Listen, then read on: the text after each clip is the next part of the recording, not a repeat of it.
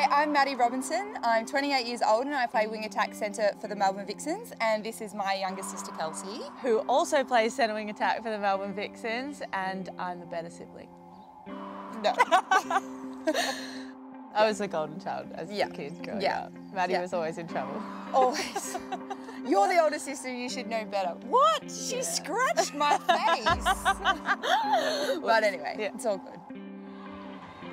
I think it's very special to be a sister combination in the ANZ champs. There's not many of us. I think, you know, we had dreamed that we could play at the elite level um, netball together, but didn't know when it would happen and if it ever would. To be out there playing the sport you love and, and doing it with someone that, you know, you love even more probably than your teammates, keep that on the down low. But, um, you know, it is very special to share those moments because a lot of the time I'd come home and say what it's all about and she'd be like, yeah, yeah, yeah. But now to be able to share it together is really nice. Yeah, and I've um, I've sort of been in the stands for however long watching Maddie, and obviously I'd always loved to be there.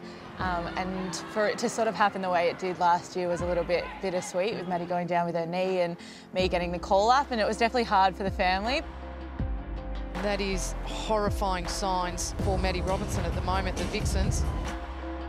It's pretty difficult to sort of see her go down um, last year. I was in Melbourne because they were in Perth and I was watching and I was straight on the phone to mum like, what's happening? And I think I cried more than Madison did. The Maddie- family were worse than I was. yeah, Maddie didn't Yeah. cry at all, and I was on the other end of the phone sobbing.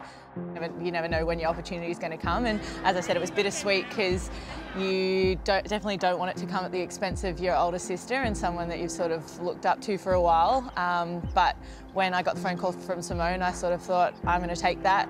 I, I made sure that, you know, don't worry. I know that there's going to be comparisons. I know that there's going to be people talking um, and, you know, oh, younger sister, all of this type of stuff. But you know what? As I said, opportunities come in sport and these things happen and you've just got to make the most of it when it comes. At halftime, um, of the first game, I was at I was in the change rooms and they said Kelsey, you're at wing attack. And she went, she looked at me and she's like, what? And I was like, get the bib on, let's go, here we go, the show's on. And she was like, oh my goodness. So just relax, it's fine. So I think that was kind of good that I was still there because you're still a bit like a deer in headlights, going, oh my goodness, this is really happening.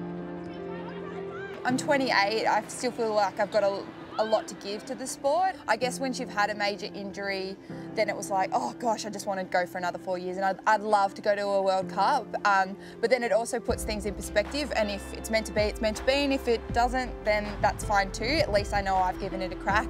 When I went down, to, for her to have had the opportunity, and then for us to play together, I mean, that's a huge positive. I'm really happy to be playing um, ANZ netball. To be a permanent fixture of the Vixens is, is pretty awesome and I love netball and I probably won't stop anytime soon.